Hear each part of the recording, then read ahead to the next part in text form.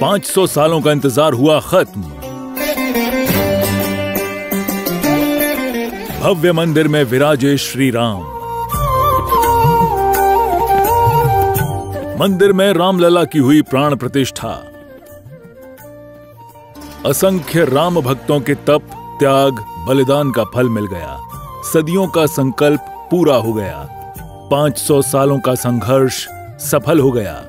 जब अयोध्या के नवनिर्मित भव्य, दिव्य और अलौकिक श्री राम मंदिर में रामलला विराजमान हुए। प्रधानमंत्री श्री नरेंद्र मोदी सुनहरे कपड़े पहनकर राम मंदिर पहुँचे। राम मंदिर में प्रवेश करते समय पीएम नरेंद्र मोदी अपने हाथ में चांदी का छत्र और वस्त्र लिए हुए थे। छत्र और वस्त्र के साथ प्रधानमंत्री मोदी नंगे पाँव थे। इस दौरान दर्शक दीर्घा में बैठे साधु और संत काफ़ी उत्साहित नज़र आ रहे थे। इन अद्भुत और अविश्वसनीय तस्वीरों में आप देख सकते हैं कि राम मंदिर के गर्भगृह में प्रधानमंत्री नरेंद्र मोदी ने प्राण प्रतिष्ठा के लिए अभिजीत मुहूर्त में पूजा अर्चना की, मंत्रोच्चार और शंखनाद के बीच। पीएम मोदी के सम्मुख रामलला की प्राण प्रतिष्ठा हुई। उनके ठीक बगल में राष्ट्रीय स्वयंसेवक संघ के प्रमुख मोहन भागवत बैठे थे। पूरे विधि विधान से पूजा अर्चना की गई। चौरासी सेकंड के मुहूर्त में पीएम मोदी ने रामलला की प्राण प्रतिष्ठा की।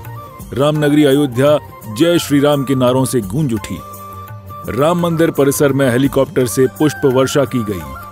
प्रधानमंत्री मोदी ने रामलला के चरणों में कमल अर्पित किया।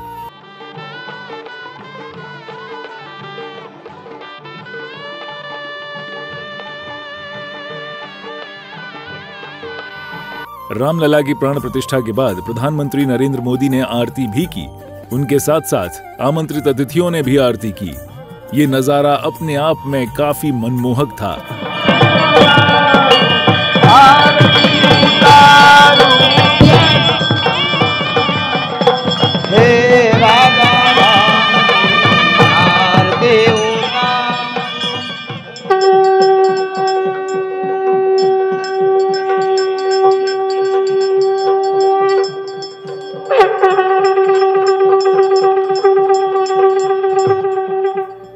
बालराम की प्राण प्रतिष्ठा पूरी होने के बाद पीएम नरेंद्र मोदी मंदिर में साष्टांग दंडवत हुए।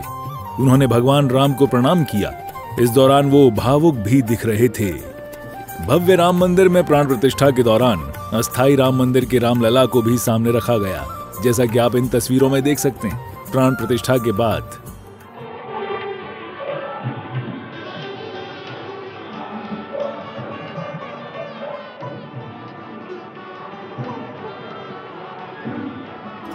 इस ऐतिहासिक पल का गवाह बनने के लिए देश भर से नेता, अभिनेता, साधु, संत पहुँचे।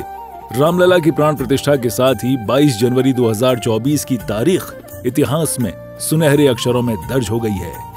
सूर्या समाचार के लिए ब्यूरो रिपोर्ट।